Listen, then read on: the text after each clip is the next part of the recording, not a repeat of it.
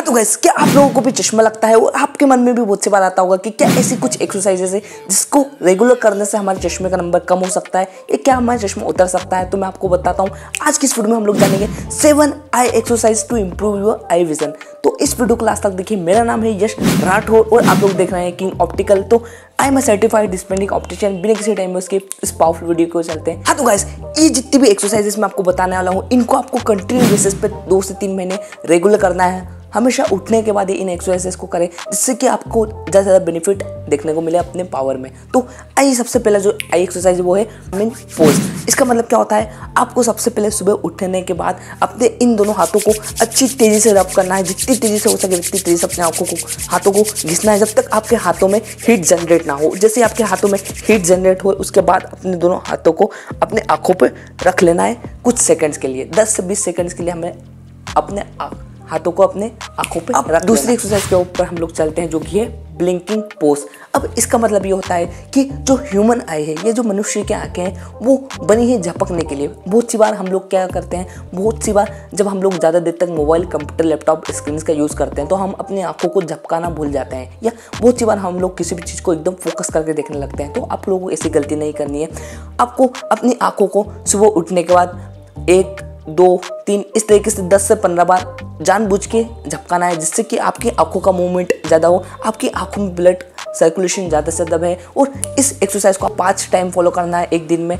अब थर्ड जो हमारे पास एक्सरसाइज आती है, वो ये होती है पेन पोज अब इसका मतलब क्या होता है? आपको इस तरीके का एक पेन लेना है, इसको अपने एक हाथ की धुरी पे रखना है, और इसकी नींव पे फोकस करना है। उसको धीरे धीरे धीरे धीरे धीरे धीरे धीरे धीरे धीरे धीरे पास लाते रहना है। उस जब तक पास लाना है, जब तक ये पूरे आपकी नोज़ पे टच नहीं हो जाता।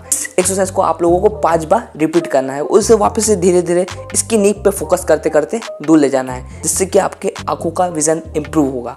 अब फोर्थ जो एक्सरसाइज हम लोगों के पास आती है, वो है up and down and left and right position मतलब क्या होता है? आपको अपनी आँखों को बड़ी करके इनसे ऊपर देखना है, इसी से नीचे देखना है, इससे लेफ़्ट देखना है, इसी से राइट देखना है। Left right up down start अब पांचवी एक्सरसाइज की ओर चलने से पहले मैं बोलना चाहूँगा अगर आप लोग हमारे चैनल पर नए हो तो चैनल को सब्सक्राइब ज़रूर कीजिए क्योंकि इस तरीके की वैल्यूबल कंटेंट चश्मों से संबंधित और आँखों से संबंधित में लेके आता रहता हूँ। पांचवी जो एक्सरसाइज उसे कहते हैं डायगोनल पोजेस अब इसका क्या मतलब होता है?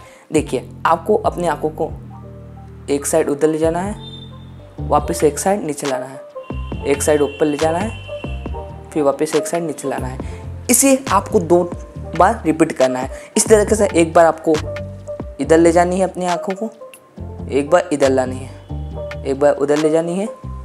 एक बार इधर लानी है। इस तरीके से अपवर्ड इस डायरेक्शन में, इस डायरेक्शन फिर उसके बाद इस डायरेक्शन में, फिर इस डायरेक्शन में। इस तरीके से इस एक्सरसाइज को आप लोगों को दो बार रिपीट करना है। हाँ फ्रेंड्स क्या? अब जो एक्सरसाइज होती है, वो उसे हम लोग कहते हैं रोलिंग पोज अब रोलिंग पोज में क्या होता है? आपको अपनी आँखों को चारों दिशाओं में राउंड एंड राउंड करना है। हाँ फ्रेंड्स क्या? देख सकते हैं हम जैसे मैं करने की कोशिश कर रहा हूँ। अपनी आँखों को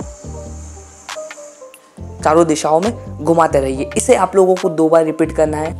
हाँ तो गाइज़ आप लोग जब भी मोबाइल कंप्यूटर पीसी या इस तरीके से डिजिटल स्क्रीन का यूज़ करें तो एक रूल को ज़रूर अपनाएँ, जैसे कहते हैं ट्वेंटी ट्वेंटी ट्वेंटी रूल मतलब कि 20 मिनट तक किसी भी डिजिटल स्क्रीन पर फोकस करने के बाद आप लोगों को 20 सेकंड के 20 फीट की दूरी से देखना है। हाँ फ्रेंड क्या? इससे क्या होगा? इससे ये होगा कि जो हमारी आँखें हैं, वो किसी भी चीज़ पर फोकस करने के लिए नहीं बनी है। बहुत से लोग क्या करते हैं मोबाइल में आधे घंटे एक घंटे तक देखा ही करते देखा करते उसके कारण उन्हें चश्मा बहुत जल्दी लग, लग जाता है या फिर उसके कारण उनकी आँखें बहुत ही वीक हो जाती है। तो आप लोगों को कभी गलती नहीं करना।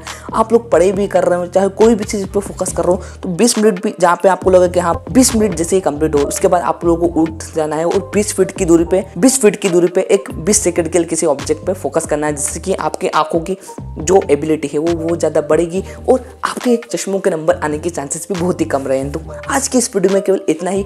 मैं उम्मीद करता हूँ इस वीडियो से आपकी थोड़ी भी प्रॉब्लम सॉल्व हुई हो। अगर आप इस वीडियो से आपकी थोड़ी भी प्रॉब्लम सॉल्व हुई हो तो हमारे चैनल को सब्सक्राइब कीजिए इस वीडियो को ज़्यादा से ज़्यादा लोगों तक शेयर कीजिए, क्योंकि बहुत से लोग जानना चाहते हैं कि कौन सी वो आई एक्सरसाइज है जो हम लोग घर बैठे बैठे कर सकते हैं, जिससे हमारी आँखों को बहुत ज़्यादा बेनिफिट मिले। तो इन लोगों तक इस वीडियो को ज़रूर पहुँचाइएगा। तो फिर मिलते हैं नेक्स्ट वीडियो में किसी और संबंधित चश्मों के पावरफुल वीडियो के